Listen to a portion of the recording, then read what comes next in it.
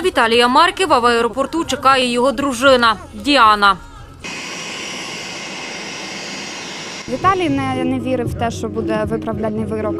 І в самої не було таких якихось перечуттів. Тобто, ну я, я досі не, вірю в те, що це дійсно насправді. Діана каже, чоловік зателефонував вчора за годину після того, як суд у Мілані його виправдав. Попросив приготувати його улюблену страву. Приготували печіночний торт, це улюблений Це страва. він попросив чи як це Ні, це він попросив. Як це Вчора, коли дзвонив відеозв'язком. Це було перше його замовлення.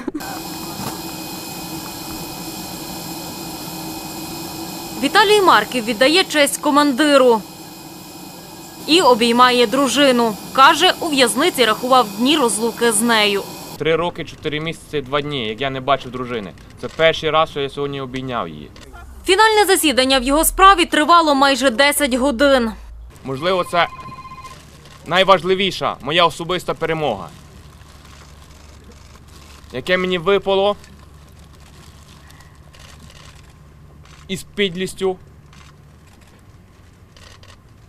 пропаганди, із підлістю фальшивої інформації. Я собі дав обіцянку вистояти, вистояти до кінця. Не тільки за, заради себе, а й заради всіх тих героїв, які віддали своє життя, які борються по сьогоднішній день. Зустріли сьогодні Віталія і побратима з батальйону імені Кульчицького. Принесли цей банер. Кажуть, він символічний. Три роки поспіль з ним ходили на акції, які влаштовували на підтримку Марківа. З ним неодноразово виконували завдання ну, в інших місцях, там е, в Луганській та Донецькій областях. Людина завжди була е, добре екіпірована, е, потягнута в спортивному відношенні. На литовищі сьогодні і волонтери, з якими Віталій познайомився ще на майдані. В листі написав, що не турбуйтесь, коли приїду, обов'язково приготую і піцу, і пасту. Ну що ж, ми в черзі, ми чекаємо.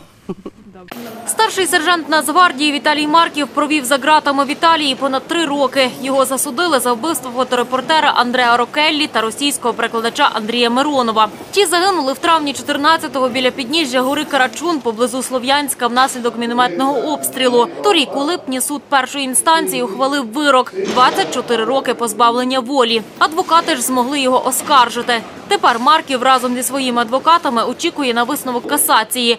Потім будуть звертатися до суду по компенсацію. А поки що, каже Віталій, хоче побути з дружиною. Опісля знову повернеться до лав Національної гвардії.